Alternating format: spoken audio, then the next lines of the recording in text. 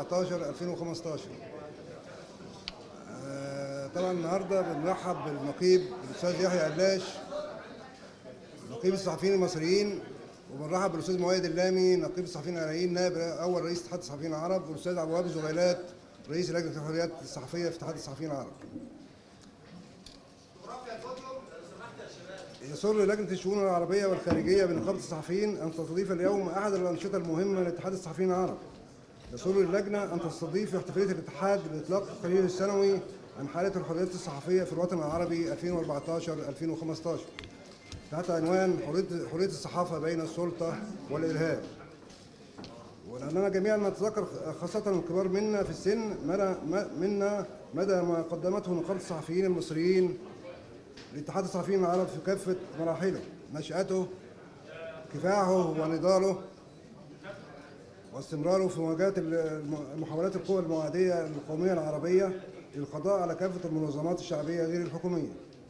وكيف كانت النقابة المصرية هي التربة الخصبة لنشأة هذا الاتحاد في في فبراير 1964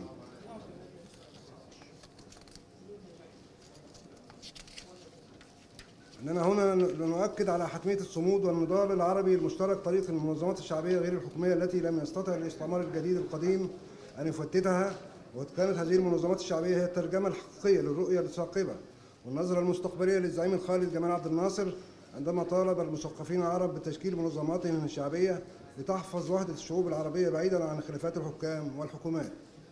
لأننا نحتفل بإطلاق هذا التقرير في اليوم الذي نحتفل فيه سنويا بعيد الصحافة العربية تخليدا لذكرى الصحفيين الذين قتلوا في سوريا ولبنان على أيدي العثمانيين منذ عقود طويلة.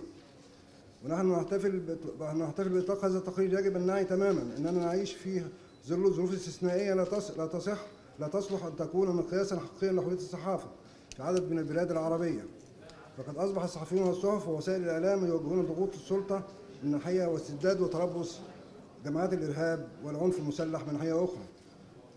الامر الذي يضع نظرنا من أجل انتزاع حريتنا على المحك مع ايماننا بان التوسع في سياسات الإصلاح والحريات العامة كفيل بمجابهه أي أخطار والاصطفاف حول مشروع الوطن ذاته.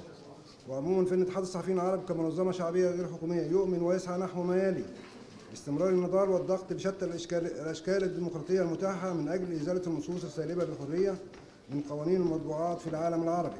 تعديل قوانين العقوبات بتحويل جريمة التعرض للصحفيين والإعلاميين إلى جناية أيا تكن درجة التعرض لشكل ذلك رادعا لمن تسول لها نفسه سلوك هذا السبيل.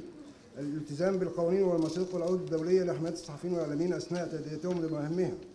إطلاق سراح كل الصحفيين وشجناء الرأي من كل السجون العربية طالما أنهم غير موقوفين بجرائم. لا هما سوى جريمة التعبير عن الرأي. ولا سبب الإبقاء منهم خلف قضبان هذه السجون. إن الاتحاد العام للصحفيين العرب يدعو إلى تحييد الصحفيين والإعلاميين. عن الصراعات وعدم التعرض لهم بالقتل والخطف والتعذيب وتهديد وقتل الارزاق واحترام المهنة التي يطلعون بها خدمة للحقيقه وحق الناس في الاستعلام والمعرفة.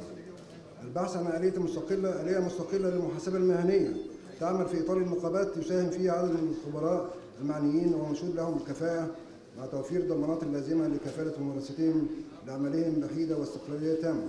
السعي لتعديل وتطوير التشريعات المعنية بحرية الصحافة وهذا يتطلب معاونة صادقة من كافة النقابات والمنظمات الصحفية العربية وتقديم كل ما لديها من وثائق ومعلومات في هذا الشأن. تنظيم دورات تدريبية لعدد من الصحفيين والمحامين للتخصيص للتخصص في الدفاع عن قضايا النشر في قضايا النشر. تنظيم حملة عربية ودولية لتعزيز الحريات الصحفية في الوطن العربي وإثارة اهتمام الرأي العام لأن حرية الصحافة ليست ميزة للصحفيين ويمكن أن تختزل في حرية الرأي والتعبير. بذل الجهد الواجب لتحديد أوجه الخلاف في الموضوعات الخاصة بمسؤولية الصحفيين في تعزيز واحترام حقوق وحريات الآخرين عند النشر وتحديدا وتوضيح العلاقة بين حرية الصحافة والمسؤولية الاجتماعية. متشكرين جدا وأنا دلوقتي بدعو النقيب الصحفيين المصريين لإلقاء كلمة قصيرة يرحب فيها بالضيوف. أستاذ يحيى علاش.